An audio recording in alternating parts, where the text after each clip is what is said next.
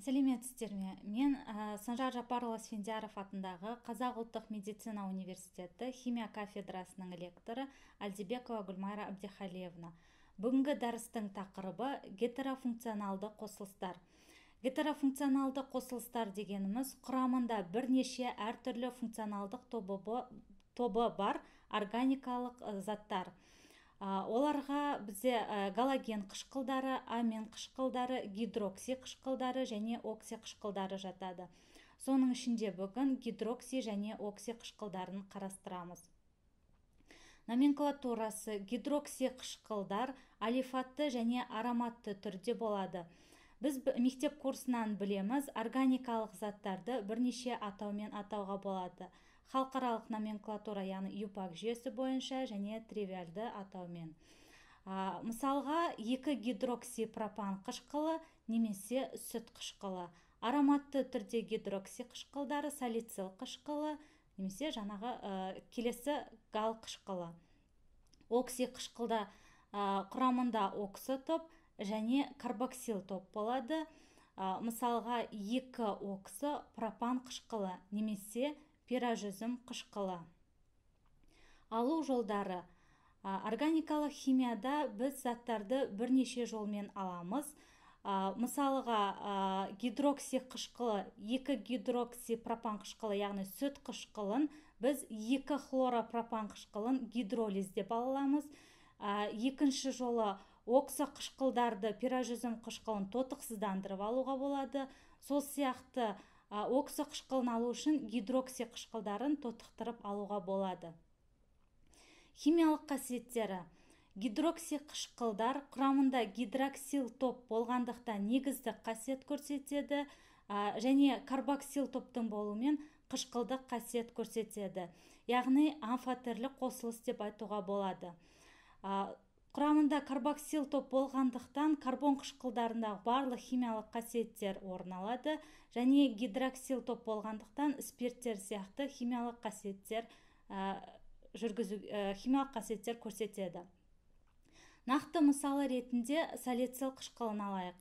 Салицил қышқылы ә, спиртпен әрекеттестіріп этерификация реакциясын жүргізуге болады. Ә, яғни салицил қышқылына метанол қосатын болсақ салицил қышқылының метил эфирі деген күрделі эфир алуға болады. Яғни бұл жерде реакция карбоксил топпен жүріп тұр. Ә, келесі гидроксил топпен реакциясы. Салицил қышқылына сірке ангидридін қосатын болсақ ә, бізде ацетил салицил қышқылы деген өздеріңізге аспирин деген атпен белгілі дәрілік зат түзіледі. Келесі ә, ерекше қасиеттер.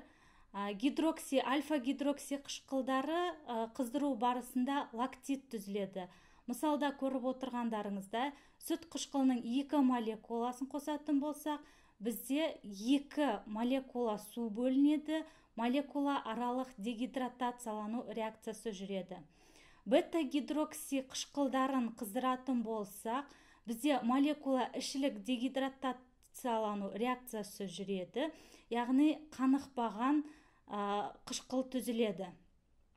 Гамма және дельта гидрокси қышқылдарын қыздыратын болсақ молекула ішілік дегидратация реакциясы жүреді және бізде лактон түзіледі. Келесі таутомериясы бізде жалпы органикалық химияда таутомерияның үш түрімен танысамыз. Лактам лактимді кетаинолды Ә, және ә, циклооксотаутомерия бүгінгі тақырыпта кетаинолды таутомериямен танысамыз. Таутомерияның баламасы таутос сол бір өзі мерос бөлшек дегенді білдіреді. Қайтымды процесс изомердің бір түрі болып табылады. Ә, кетаинолды таутомерияны түсіндіру үшін нақты мысал ретінде ацетосірке қышқылының этил эфирін алып отырмыз. Мұнда орын басушы оксо топ болғанда кета түрі орын басушы гидроксил топ болса енол түрі болып табылады. Э, біз ә, кетоенолды таутомерияда кетон түрімен де енол түрімен де химиялық реакциялар жүргізе аламыз. Кетон түрімен реакция жүргізген кезде ә, кетондардың қасиеті бойынша жүреді реакция.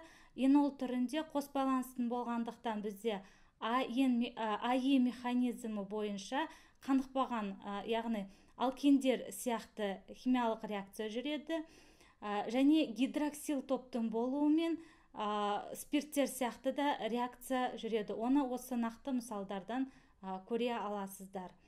Осымен бүгінгі дәріс аяқталды. Назар салып тыңдағандарыңызға рахмет. Сау болыңыздар.